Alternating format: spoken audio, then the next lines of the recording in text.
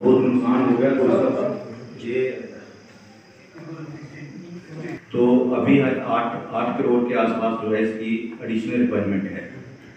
तो अभी हमने इसको जो है वो लैंग्वेज में प्रोजेक्ट किया है, लेकिन अगर इसकी फंडिंग का अभी हमें दिक्कत आ रही है, अगर इसका फंडिंग कहीं से हो जाए तो इस ये प्रोजेक्ट कंप्लीट होने से पुंछ की आवाम को, पुंछ की लोगों को बहुत फ़ायदा होगा मैं स्वीकार किया था पिचासी परसेंट दस वर्ष के कार्यकाल में, भ्रष्टाचार के मामले सामने है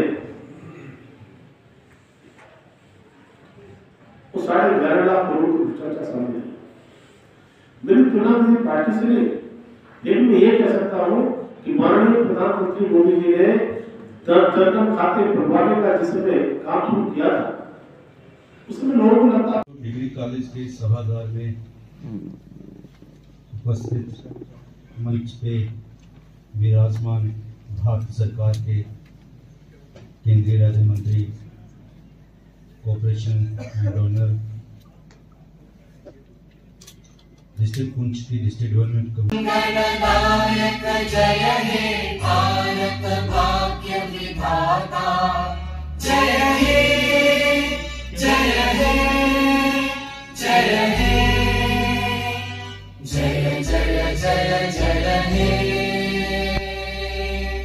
जय जय जय हे पेंचीज के लिए। तैयार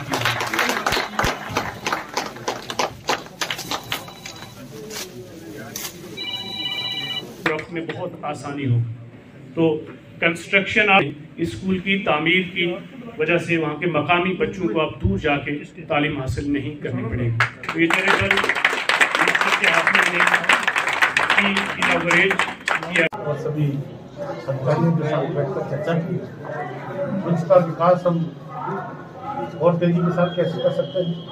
यहाँ की कोई समस्याएँ हैं, उनका निदान कैसे हो सकता है? और सहकारिता क्योंकि मेरा मंत्रालय है। सहकारिता के क्षेत्र में इस ज़िले में क्या क्या संभावना हो सकती है, उनके लिए हमने चर्चा की है। और हम इस कुछ का एक और विकास के मॉडल स्वरूप में देखना चाहते हैं। इसके लिए मिलकर के हम काम करेंगे। और देश को आगे बढ़ेंगे। लेकिन मैंने कहा कि माननीय प्रधानमंत्री जी ने अगर सहकारिता मंत्रालय नया बनाया है उसके मन विजन था। तो विजन को लेकर के जो उनकी अपेक्षाएँ हैं और मंत्रालय का काम माननीय अमित शाह जी, जो यशस्वी हमारे गृह मंत्री हैं, उनके हाथों में दिया है और मेरे जैसे कार्यकर्ता को सहयोगी में बनाया है और मिलकर के हम माननीय प्रधानमंत्री जी की विजन को पूरा करें।